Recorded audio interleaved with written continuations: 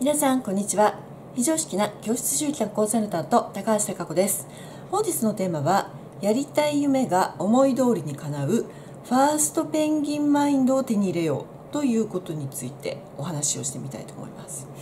えーと、ファーストペンギンっていう言葉知ってる人は知ってると思うんですけれども知らない方もあのいらっしゃるかもしれないのであのちょっとねお伝えするんですけどあの南極にあの住むペンギン、まあ、いますよね南極にペンギンって。でそのペンギンっていうのが餌を探しに、まあ、海に飛び込みたいんだけれども、まあ、天敵であるアザラシとかシャチがいるとペンギン食べられちゃうのでなかなかその海に飛び込めないんですよ。そうするとあの氷の端っこにこうペンギンが何匹もこう立ってるわけですよね。でそのもちろん立ってるペンギンはもちろんそのペンギンいるんですよ。だけどその中の1匹が「よし!」って言って飛び込むんですよパッて言って。でそうするとそれを見た他のペンギンがあ無事無事なんだなみたいな感じで飛び込み始めるっていうこうペンギン飛び込む画像。まあ多分 YouTube とかで探しても多分あるんじゃないかと思うんですけどあの面白い映像ですよ。ピョンピョンピョンピョンとかで飛び込んで。それまでみんな直立不動でそこに端っこにいるわけですからね。で最初のペンギンはあの、まあ、リスクは置いてますけれどもまあ、飛び込むから、まあ、先にお魚とかねそういうものを食べることができる、まあ、いわゆる世の中的にマーケティング的に言うと先行者利益っていうものが、まあ、手に入るのが、まあ、ファーストペンギンっていう感じなんですけれども。であのー、まあ、それをだからどういうふうに世の中的に言ってるかっていうと未知の世界に勇気を持って、まあ、飛び込む人をファーストペンギンっていうふうにね言ったりするんですよ。であの今回テーマにしたのがその夢がね思い通りに叶うファーストペンギンマインドを手に入れようっていうことで、えーと、実はこのファーストペンギンってどういうふうに思ってるのかって本当のペンギンはどう思ってるか知らないですよ。だけど私も割とファーストペンギンスピリットっていうかマインド持ってるんですよ。でそれはああそういうことなのかって言ってなぜ皆さんが躊躇してできないことを私ができるのかっていうこと。でまあその領域に、えー、来たクライアントさんはみんなうまくいってる。だからその極意ですねを今日はお伝えしたいと思います。ファーストペンギンマインドについてちょっと語ってみたいと思います。はい、えーと、とそそしたらですね今回のあのファーストペンギンのあの話を、えーと、する前にですねこの話をしようと思ったきっかけ私の体験談ももちろんあるんですが実はあのあるメルマガがありまして「まあ、人の心に灯火を灯す」っていうメルマガがあるんですけどそちらのメルマガが届いた内容があ今日ちょうど話したい内容だっていうふうに思ったんで先にそちらのね引用からあのちょっとお話をねしてみたいと思います。えっ、ー、と本を書いた方がですねえっ、ー、と誰だっけ？えっ、ー、と私がファーストペンギンになれた理由っていうそのカナリアコミュニケーションズっていうところから出してる小貝治さんっていう方があの書いた、えー、文章があるので、まあ、それをちょっとね引用で最初ちょっとお話をしてみたいと思います。小貝治氏の心に響く言葉より私が思うファーストペンギンとは頭で考える前に実行をしてしまう人そして苦労を大変だと思わない人この2つにあると思っています。いわば行動力と鈍感力を併せ持った人がファーストペンギンなのです。こんな風に書くとなんだかファーストペンギンってちょっと変な人なのかなと思いませんか？そうです。ファーストペンギンとは常識を外れた変わり者と言っても過言ではありません。私が会ったファーストペンギンはビジネス書などに説明されている世間一般でのファーストペンギンのイメージとはかけ離れているかもしれません。ファーストペンギンとは外敵がいるかもしれない海に率先して飛び込む人のことと世間での説明からすると、えー、説明は私からするとかっこよすぎるのです。でまあ、この方その先ねあの実際に番組を持っていてブレインナビオンっていうところで「ファーストペンギンを探せ」っていう番組を持ってるらしいんですけれどもでそこになんか登場していただくのはって書いてあって、えー、各業界に新しい風を吹き込んだいわゆるファーストペンギンって言われる人たちを呼んでるらしいんですよ。でその人たちに授業がうまくいったマインドとかを語ってもらうっていう番組らしいんですよね。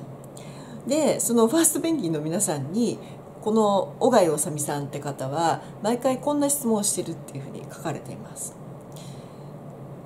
事業を進める中で一番苦労したことは何ですか？っていうことを聞いてるらしいんですよ。そうすると大抵の人は、まあ、例えば資金繰りに奔走したりとかあといろいろなところでね困難に出会ってそれを乗り越えてっていうすごい苦労話が、まあ、聞けると思って、まあ、質問してるらしいんですよ。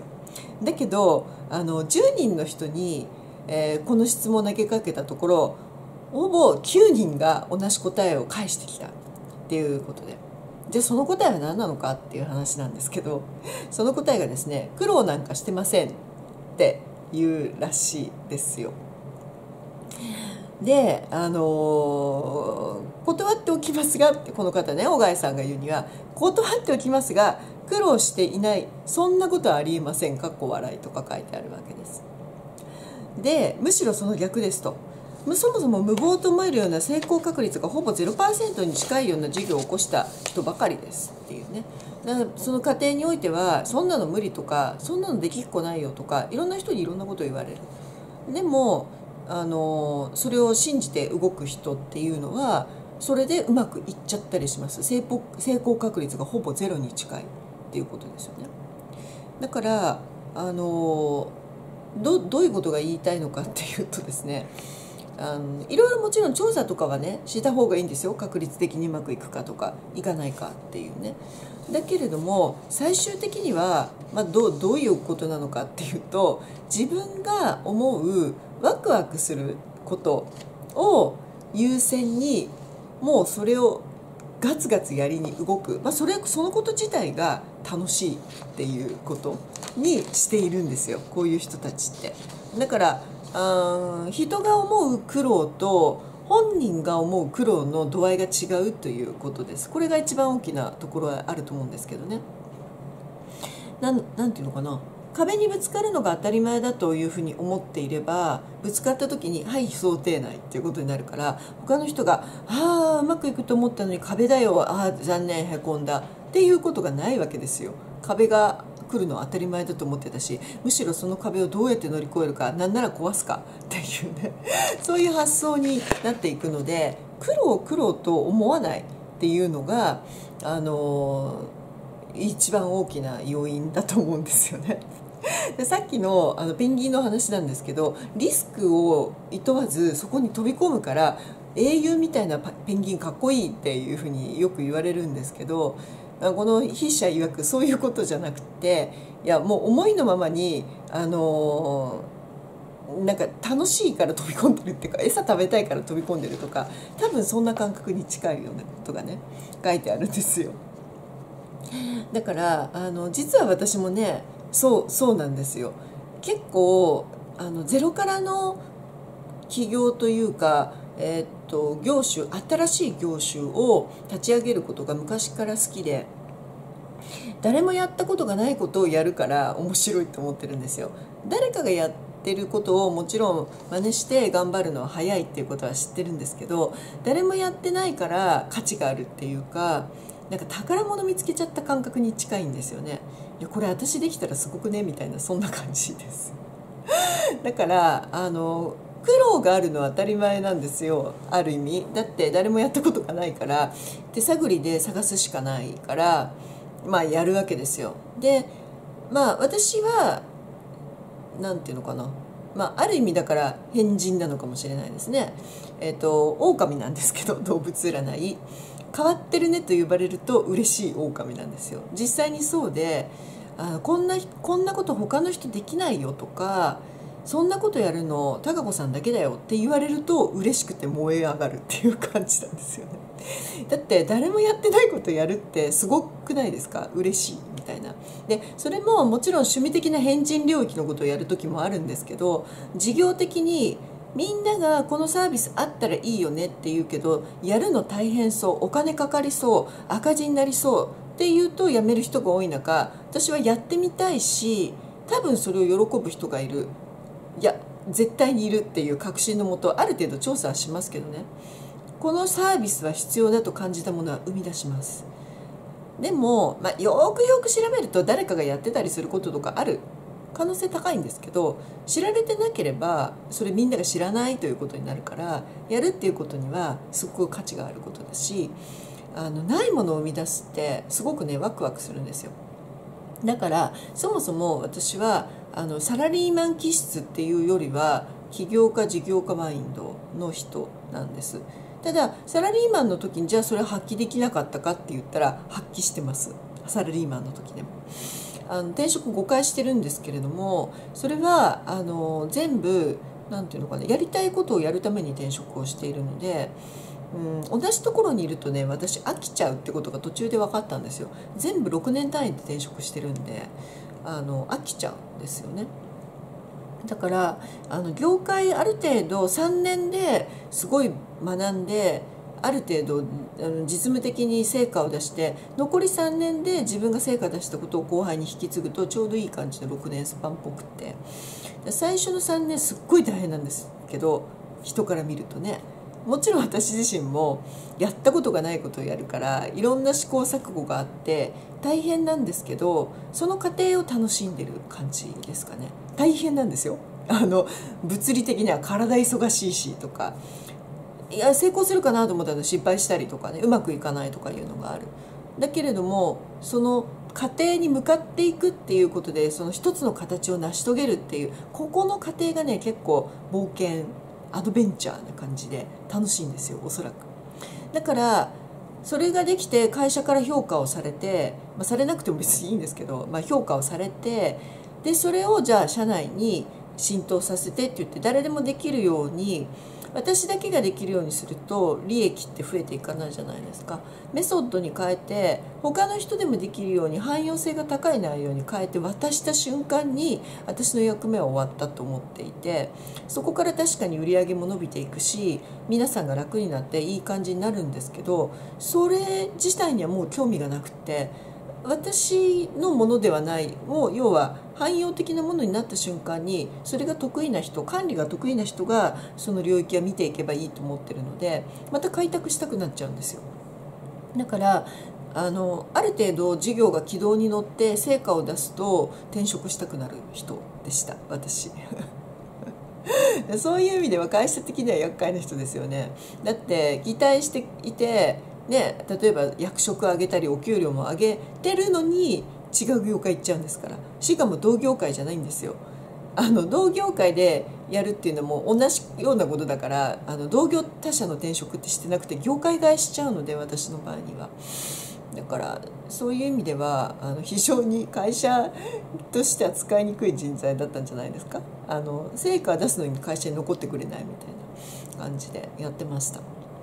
だから私はもともとファーストペンギンの気質があってでそれは独立自営事業をやってもずっと新しいことをやり続けるから、えー、それが個人事業主とかまああのまあ一人法人でも動いているんですけれどもそういう状態で動く時にも全部基本いいように動きます。通常は個人事業主で独立をすると会社員で守られたものが一気になくなってからリスクが多くてやることも多くて大変って言うんですけど私はむしろ縛りがなくなったのでもう自由を謳歌してましたね。あの一番嬉しかったのは倫理書にハンコを押しながら決済通さなくちゃいけないっていう仕組みがなくなったことですね。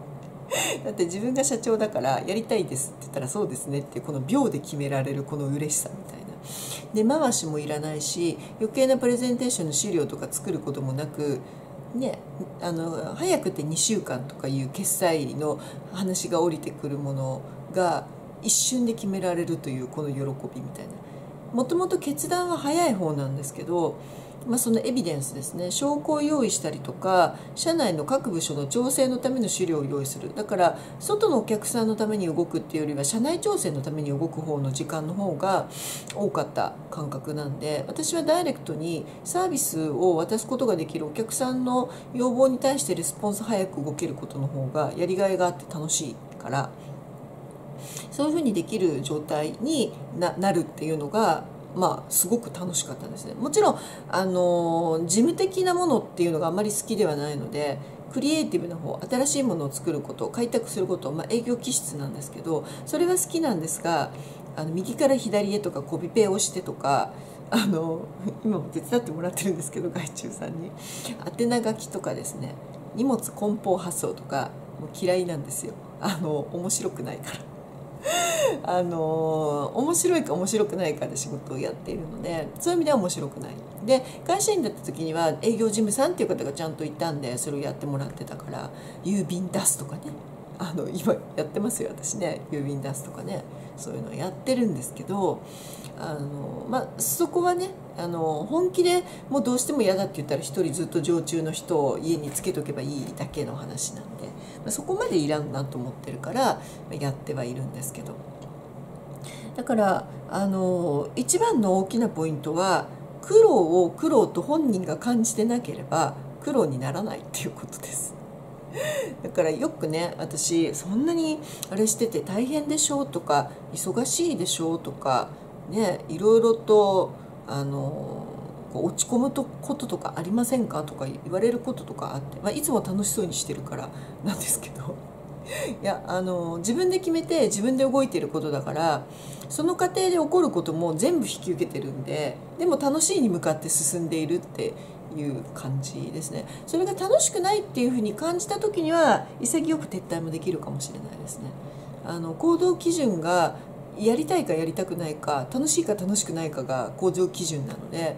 そこに対してのリスク例えば大赤字になるとか赤字ばっかりじゃまずいですけどね。赤字の先にプラスになるようなあの要因とかあの転換点は見つけてますよ一応。ただ普通の人は大赤字が見えた瞬間にそれをやめるという選択肢をする方の方が多いです。私はその一瞬大赤字に見えるけどその先って実はつながるんじゃないっていうのが見えればやりたいからやるっていう選択ができるので多分他の人ができない選択ができてる分身軽に動けてるし早く動けるから時代のチャンスを捕まえることができるいわゆる先行者利益ですよねそれを、えー、やることができる、うん、チャンスが多い人だと思っています。その辺りはですねもうあのー、人によって考え方はあると思うんですけれども今の時代ってもう世間事情がもうすごく変わっていっちゃうじゃないですか。その段においてああんまりじっくりゆっくり検討しててもですねまた時代が変わっちゃったりとか世の中の事情と風向きが変わるともう一回調べ直しになっちゃうからもうそういう時にはですねま多少は調べます。多少は調べるけど基本やりたいかやりたくないかもうそこでいいかなと思っていて。やりたいっていう情熱があればさっき言ったように困難を困難と感じなくなるんですよ。あのそれ楽しくてやりたいから。だから他の人から見たらもしかしたら苦労してるように見えるかもしれないけど本人がそれを苦労と感じてなければ苦労にならない。ということなんですね。だから私はいつでもご機嫌でいられる仕事を自分で選び取るようにしているのでご機嫌じゃない仕事は手放すというすごくシンプルな思考と行動指針に沿って動いているんです。だからちょっと皆さんに考えてほしいのは、えー、っともしもですよ、ね、一番分かりやすい例が会社を辞めるか辞めないかかな、えー、例えば独立自営で教室業をやりたいとかいう時に会社を辞めるか辞めないか。辞められない人がほとんどです。あのリスクを取らないから取りたくないからお金がなくなるからっていうね。でその中途半端な状態で起業しようと思うと二足のわらじが上手にできる人の確率ってうん特に女性の場合には相当低いと思っていてあの今まで私何人も聞いてるんですけれどもうんまず1年以内に独立できた人はほぼゼロに等しいですね。まあ、私が出会ってるその教室のね先生でやりたいっていう人3年で独立できればいい方かなっていう感じですね。で独立っていうのはもうゼロにしちゃって本業として成り立たせて教室業やるっていうことですよ。だけど大体78年ですね両方やってる人って。それはいいとこ取りをしようとしてリスクを取らないからじゃあリスクを取らない分何がリスクになってるかっていうと年齢を重ねて体力が落ちる世の中の事情が変わっていく、えー、専業でやってる人より当然パワーと馬力が少ないから集客量も減るっていう思いっきりリスク取っちゃう羽目になってるのを本人気づいてないんですよお金もらってるっていうことで。この辺りがあの全部が会社員辞めろって言ってるわけじゃないんですだけど私でさえですよ私割とマルチタスクあの同時並行でいろんなことを動かすの得意な私でも計算をした結果両方でやるのは相当時間と労力と体力がきつくて結果、えー、きちんと独立企業事業まで行くまでに時間がかかるという計算ができたのでもうスパッと辞めました会社員は。でそのリスクは何で取るの？って言ったら早く早くあの稼ぐことで会社員時代のとこに戻せばいいだけっていうそっちを優先しましたね。だから会社員と同じお給料をもらいたいからあのそれが見込みができないから辞めないっていうのが通常の考え方ですけど私はそれをもらってたお給料よりどれだけ早くその倍とか倍以上とか稼げるようになるかの方にフォーカスをしてスパッと辞めてるのでもちろんその出だし50万円とか少ないですけどね。それぐらいの退職金とか使って、えー、教室用の,、まあ、あの機材とかあとはテーブルとか買いましたよ。買いましたけどほぼゼロに近い状態。ででも準備は1年前からは一応やってました。会社員だった頃ね。ブログを書いていってファンを作るっていうことはやってました。それが必要だと思ったから。そういうのはやってますけれどもあの全能力をその会社員だった自分の時に使ってた時間を全て注ぐっていうことで私は教室のイメージはあのもう週休2日以下レベルの日程だから22日稼働から25日稼働させても大丈夫なような集客量をもともと目指して設計組んでます。だからあの会社を辞めてちょっと来なかったらどうしようっていう選択肢がないっていうことです。一応最悪どうしても嫌だったアルバイト新聞配達っていうところはあの設定してます。なぜそどうしても嫌なそこを設定してるかっていうと嫌だから頑張ると思ってるからです、まあ、いわゆる排水の陣と思ってやって設定をしてまああのなんとか立ち上げてね初年度で390万くらいか。あの教室の先生がゼロからいきなりやって390はまあ多い方だと思います。ただ今の世の中みたいにもっと高額口座の作り方とか最初から知ってたら多分私最初から600万とか700万は作れたと思います。今の人たちってラッキーだなと思って初年度でも1000万目指せますからね今って。だからそういう意味では教室業も夢のある職業になったなっていうのは最近実感してることですだから時代の波に乗ることができる方がリスクが少ないっていうことを、えー、ちいちゃなっていうかまあちっちゃなって言っちゃいけないのか、えー、月収20万とかそのレベルを追いかけていることによって時間をロスすることの方が結構もったいないなっていうことも選択肢の一個で気づいてほしいなって思っています。なので結局どういうふうに人生選んだらいいのっていうのはやりたいことをやればいい。でやるだけの実行力に対してリスクも全て跳ね返して前に突き進むっていうことができると割と早く案外夢って叶うよねっていうそういうお話です。はいということでまとめていきたいと思います。やりたい夢が思い通りに叶うファーストペンギンマインドを手に入れよう。はい、ファーストペンギンマインドとは、えー、1つ目自分が、えーとワクワクするやりたいことをやるという選択を取るということを選ぶということ。2つ目は本人が苦労と思わなければそれは苦労にならない。他人がどう言おうともっていうことですね。この2つのマインドがあると、まあ、大抵何でもうまくいくっていうイメージでおりますので是非ご参考にしてみてください。それでは。